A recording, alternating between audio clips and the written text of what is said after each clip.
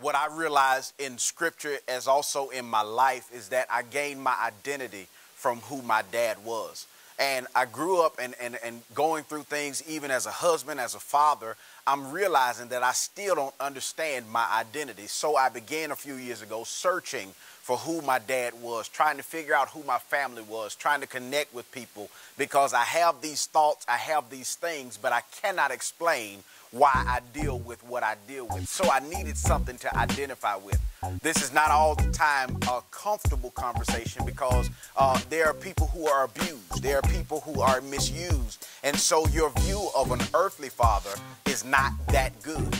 And I, I know it's going to be kind of tough, but I want to end it on a high note because at the end of the day, I believe that we have a great responsibility, not to our namesake, but we have a great responsibility to our spiritual recovery.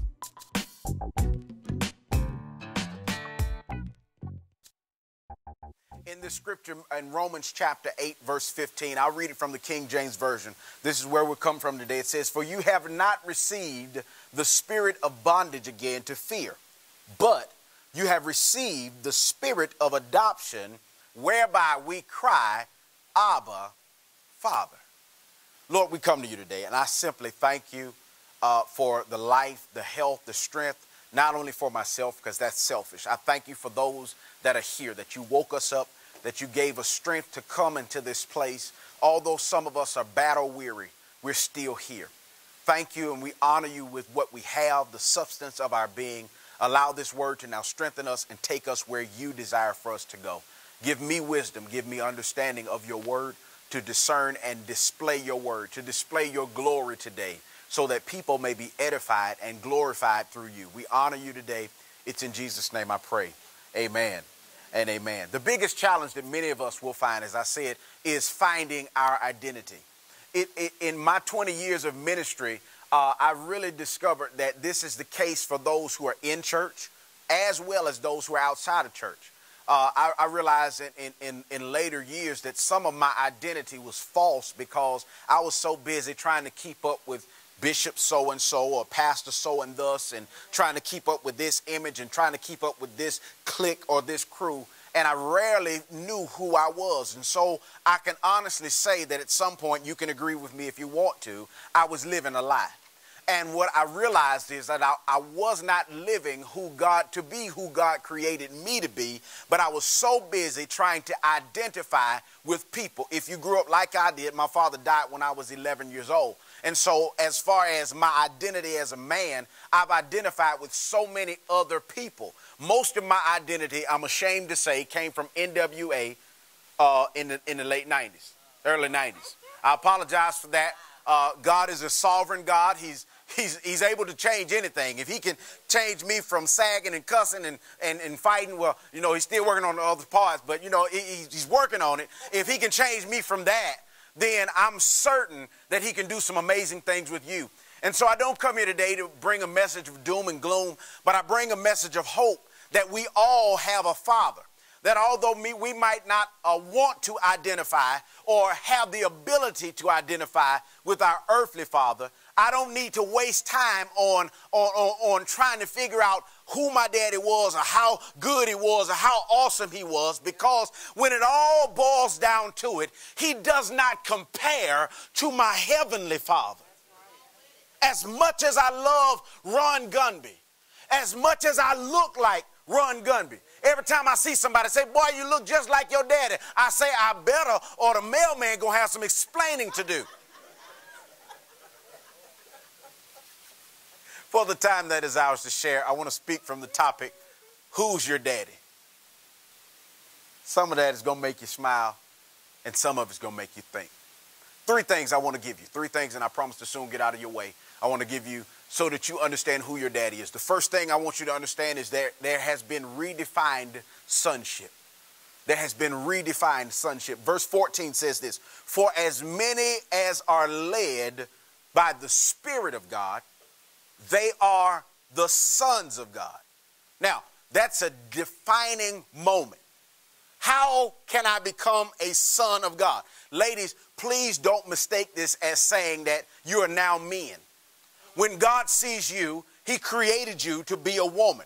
there are things in the Word of God, there are things in your life that are going to always separate us. I don't care what society says that you can do this and you can do this and you can do it just like a man. There, there is no equal when it comes to male and female gender except respect and love. Can I say that? The reality of it is we have been created differently. However, the way God sees us is not according to our gender. He sees us according to our spirit. Because at the end of the day, your gender won't make it into heaven. At the end of the day, when your body takes on immortality, your earth suit will be here and we become sons of God. Now, the scripture says this For as many as are led by the Spirit of God, they are defined as the sons of God. What this in turn says, not only is it a dynamic of who's leading, but it, it leans on our decision to follow. Now, let me say this and let me go ahead and get this out the way. Everybody that come to church ain't gonna make it to heaven. Everybody that puts on a suit on a Sunday goes through the traditions of, of what we do at a Sunday service won't make it to heaven. The thing that breaks my heart, and my heart has been broken for the last few weeks, is because we put so much energy in looking righteous. We put so much energy in acting righteous that we fail to live righteously. And so I'm challenged to help you understand that when your body is laid out before us, you may or may not make it to heaven. Coming to church don't guarantee you. What if you came to church every Sunday and then walked out and started killing folk? You still going to heaven? At the end of the day, there are rules and guidelines according to the Word of God that qualify us that's why the word says, broad is the way which leads to destruction. But there's a narrow path. Everybody's not going to make the path because people fail to line up with the will and the word of God. I've been questioning all week, just thinking, when I die, will I make it into heaven? When I die, where is my soul going? Does my preaching qualify me? See, my preaching can qualify me, but my life will disqualify me. I can appear righteous before you all, but before my Savior, I can stand there and he can, he can, he can listen to me say, Lord, I preached in your name. I serve the community in your name. And he'll look at my heart and he'll say, Depart from me. Because you never gave me your heart. I want us to recognize the power of God. The Holy Trinity as one, but they have three distinct roles that I want to identify today. We have God the Father, He's our covering, He's our protector, He's our creator. There's so many things that I could say about Him that time will not permit. But when we see God, He is the one that we ultimately want to worship. Then we have Jesus, who is the Son of God. He is, for lack of a better term, He is our connection to the Creator. He is our, our lifeline where sin has widened the gap. He is the bridge that takes us over. Now, here's the thing I can say I know Jesus, or I can confirm that I know Jesus. Because this scripture says, For as many as are led by the third part of the Trinity, the, the Holy Spirit is the comforter he is the guide. He is the leader. He is the one whom we follow. He, his whole job is not to give you private revelation. The Holy Spirit's job is to not drop something in your spirit so that you river dance. You knew I was going to throw that in there. So that you you feel like you have arrived at a certain level so that people will qualify you as spiritual. The holy spirit the bible says tells us of things to come.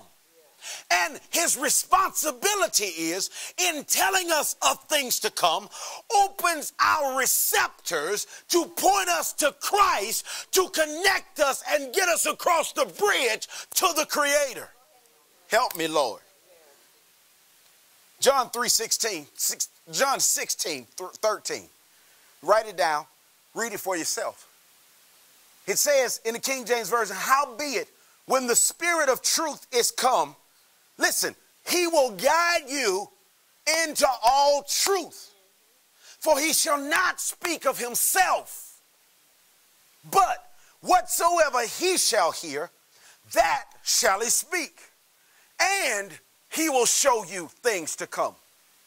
They that are led by the Spirit of God, as a scholar is led in his learning by his tutor, as a traveler in his journey is led by a guide, as a soldier is in, in his engagement is led, not driven like beast, not beat, browbeat, told of your sin, told how bad you are, so that you feel guilty in coming to God.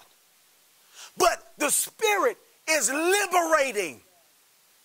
The Spirit frees you from the sin you possess so that you can go to God with a free heart. The Holy Spirit is like a wave. Last week, I caught the biggest fish. I'm lying in the pulpit. Help me, Jesus. Uh, we went on a fishing trip last uh, Thursday, Friday, and uh, fished all day. Just enjoyed ourselves and relaxed, cleared our minds. And while we were out on the dock uh, Friday afternoon, I noticed people were still in the ocean. It was warm. And there were people on waveboards and, and, and surfboards. And this is what I realized. They were out there waiting on the next wave. See, the church has a wave every service. Somebody will catch that in a few minutes. The church has a wave every time the praise and worship gets up. There's a wave. Not necessarily true. You know, you can get a wave pool, turn the machine on, and a wave will, will come. But in the ocean, the wave never happens the same way. You can't come in church and sing three songs and allow the spirit to start from there. If the worship don't start when you open your eyes saying, Lord, thank you for the life you've given me, then you can't come in here and expect the wave. Let me go back to our regular scheduled program. What I noticed while standing on the dock watching the surfers who were out there, they were waiting on waves. Now, in the ocean, waves come in all the time, but they don't come in the same way. And I noted the anticipation of the surfers when they noticed a wave was coming. What they did was they positioned themselves to catch the wave. And before the wave got to them, they began movement. The problem with the church is we're waiting on the Holy Spirit, the wave of His glory, to come in, but we haven't pre- prepared ourselves. We haven't positioned ourselves. And when the waves come, because we're not ready, it goes right by us. We are sons, ladies and gentlemen. Not because we're so righteous, but because we've decided to be led by the Spirit. And when, when, when, when we are sons, because we accept the leadership of the Holy Spirit, and, and, and that ability gives us the, the opportunity to reconnect us to the Creator by the way of Jesus the Christ. Not only in, in understanding who your daddy, do you have to redefine sonship, but secondly, you got to review the release. You got to review the release. For as for you have not received the spirit of bondage again to fear, but you have received the spirit of adoption, whereby we cry, Abba, Father. Let's look at bondage versus adoption. And, and I want you to understand this that, that what we see God as, the Father, the Creator, technically, we base our view of God based on the relationship of our earthly fathers. I say it like this My relationship with my dad was very good. My father loved me, he took care of me. But my father had a big mouth. He didn't know how to whisper. You know, his, his gentleness was, hey, go sit down. That's gentle. So the way I was raised was I loved my father. My father loved me, but it was mostly or predominantly a fear based relationship. My dad was not mean, but he meant what he said. Six foot seven, 300 plus pounds. It's not a small dude.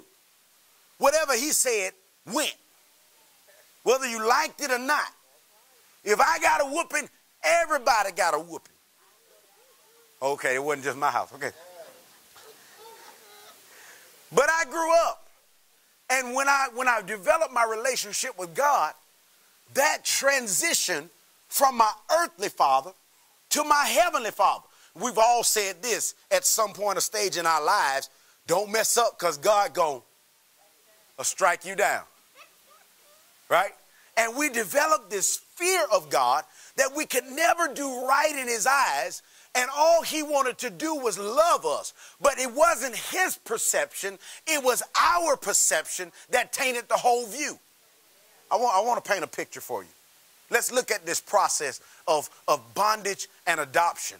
And in looking at this process, I want to I want to talk about there is an exchange that nobody talks about in the scriptures. There's an exchange that happened that we get to Easter and we mention it, then we go to the crux of the story. But there was an exchange that happened on our behalf that we really don't pay it any attention in, in, in, in the book of, uh, in, in the four gospels, it mentions Barabbas. You know Barabbas. Barabbas was the, the, the, the, the, the, the this prisoner who was eventually let go and, and once a year, Pilate had the authority to commute a sentence of one prisoner to another.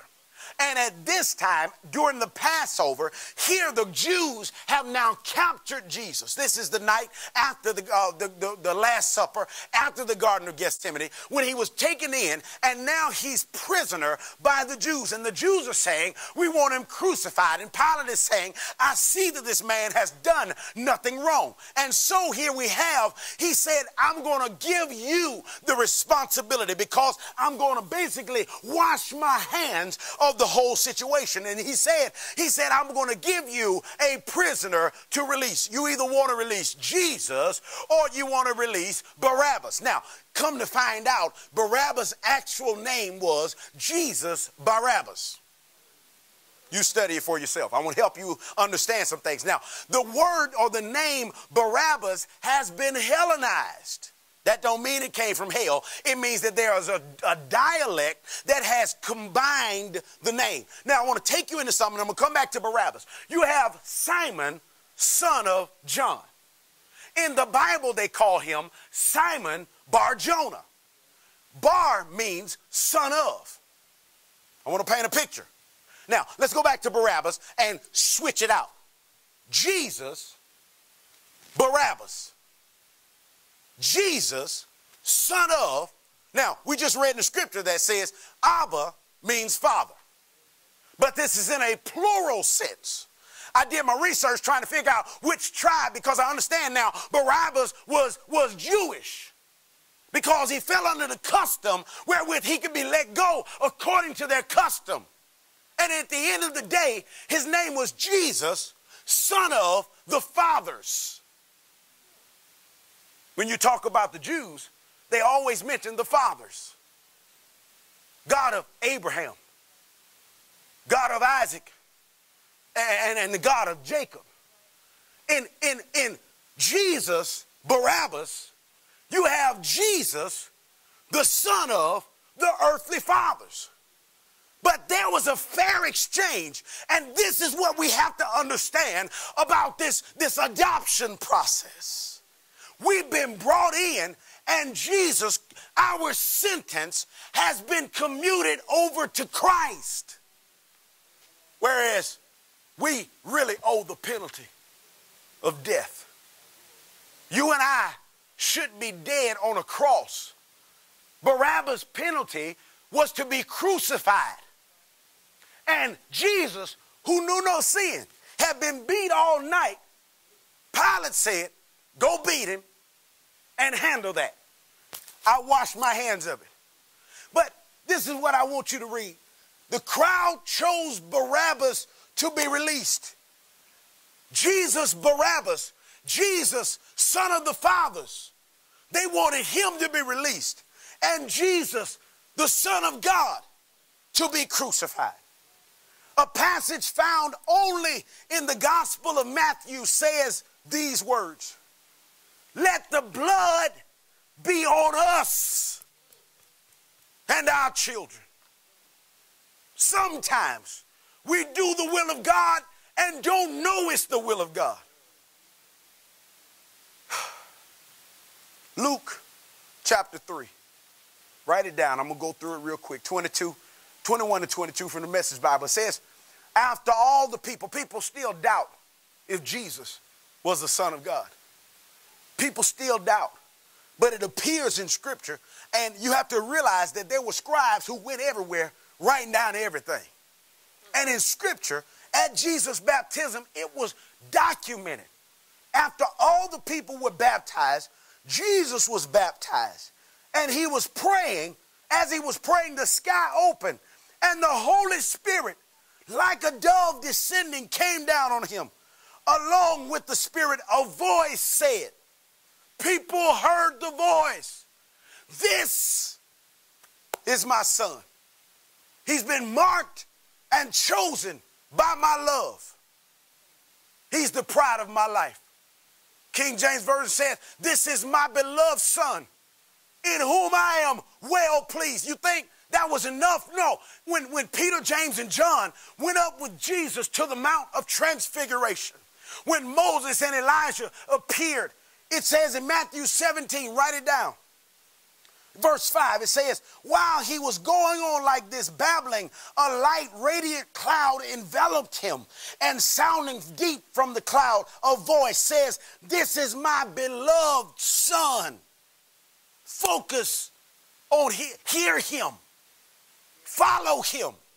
God is identifying not Doug as his beloved son, but Jesus as his beloved son.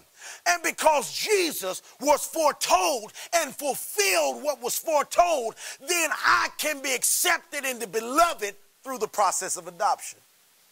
When uncovering who's your daddy, not only do you have redefined sonship, and you must review the release, but lastly, you have a relationship confirmation.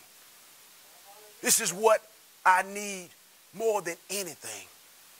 When I turned 30, I began to be frightful of living. My dad died at 36. I started going through these, uh, man, I started feeling weary. I got around 33 and it got worse. I started drinking cranberry juice. My dad died of kidney failure, so I ain't want bad kidneys, so I just drank cranberry juice. That's like mental stuff just going on. Oh, the closer I got, the worse it got. 38 now. I surpassed my dad's life by two years. You know why? because I'm not him. I didn't live the life he lived. I didn't I wasn't susceptible to the same faults that he was. They came, they presented themselves. And as I'm saying that, I want you to say that about your own life. You've surpassed some, some benchmarks that you weren't supposed to. You've surpassed some places that you weren't supposed to. And that's all because, not because of who your mom and your daddy was and they were so righteous, but your father confirmed your relationship with him.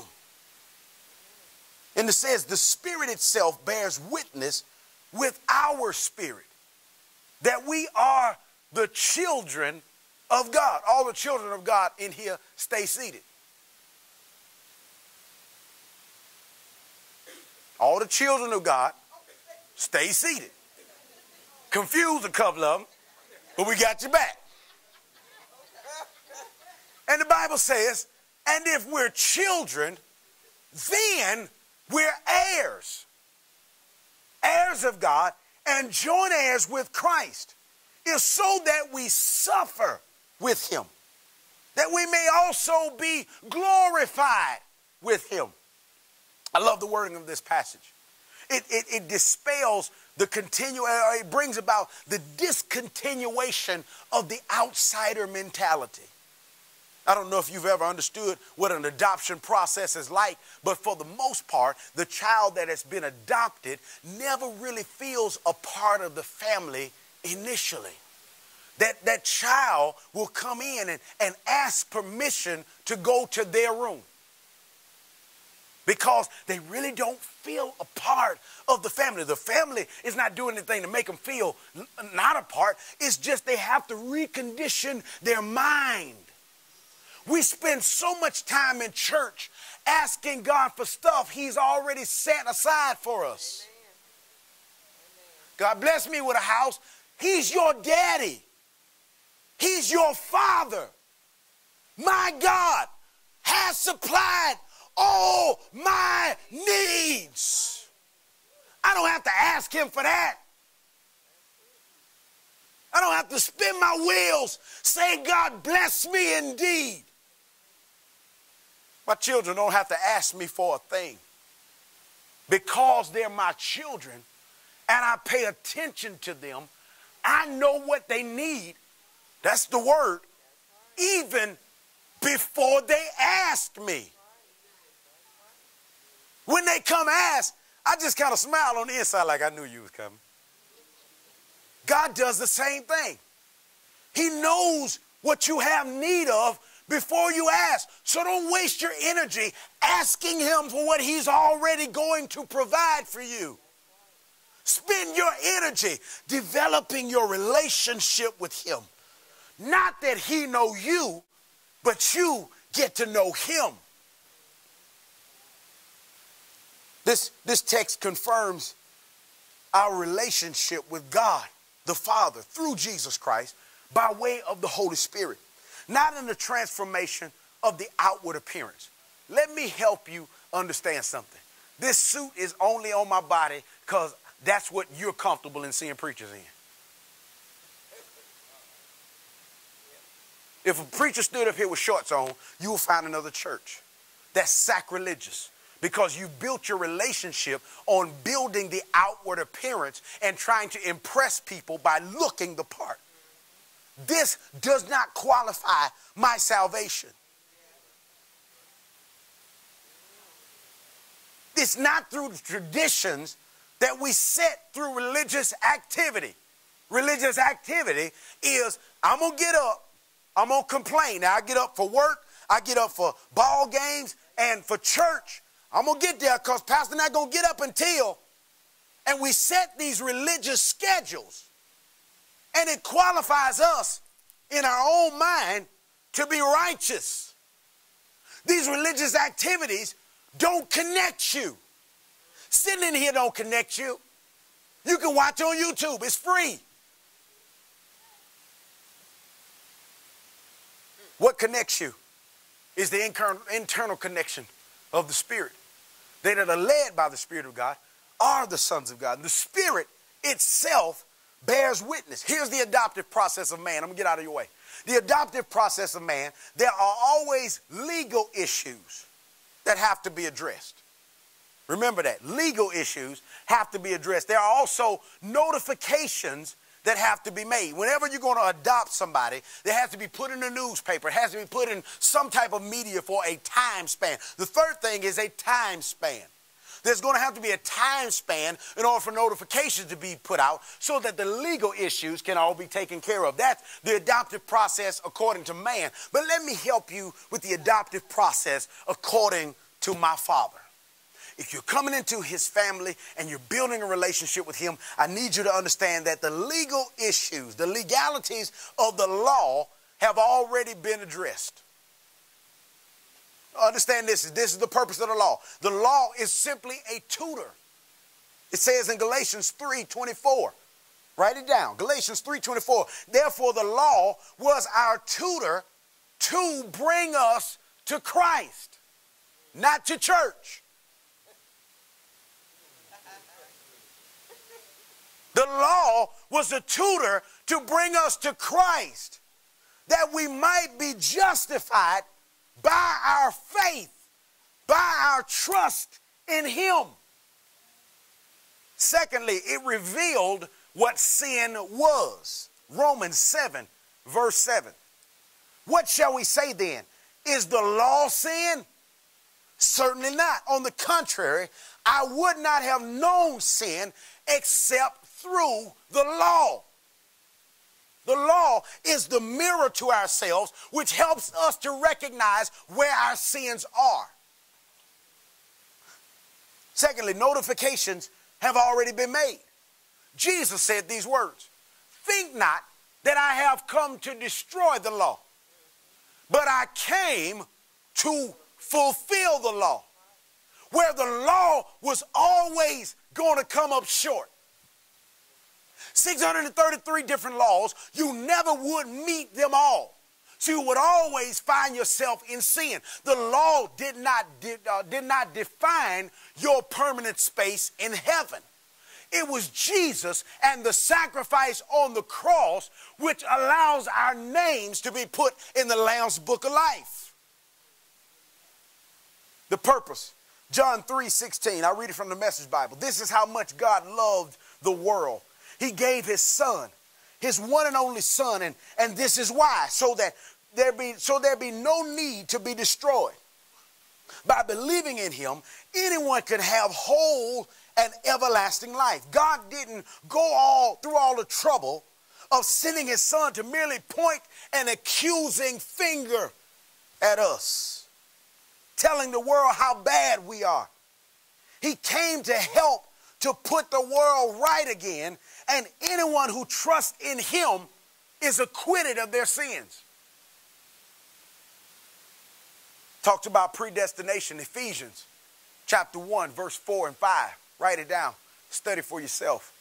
According as he hath chosen us in him before the foundation of the world, that we should be holy and without blame before him in love, having predestinated us unto the adoption of children by Jesus Christ to himself, according to the good pleasure of his will.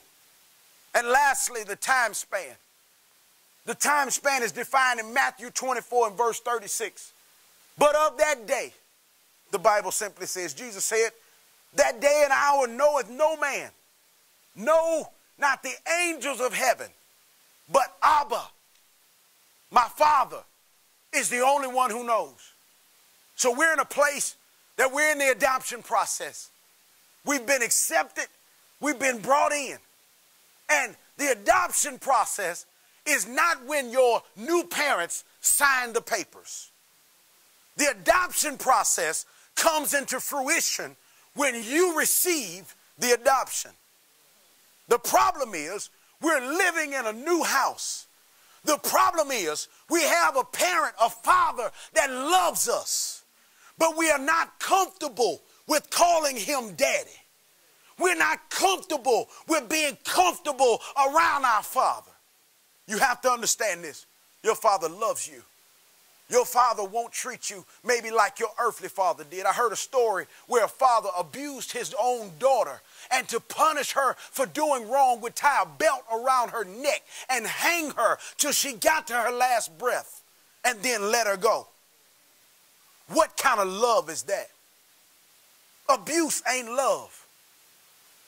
When I put my hands on my children, it's to bring them close to my heart to let them know, even though you don't do everything perfect, even though you don't do everything right, I'll never stop loving you.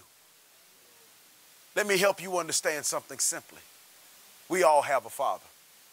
I'm not talking about Ron Gunby or whoever your earthly father is. We all have a father. I charge you, get to know your daddy.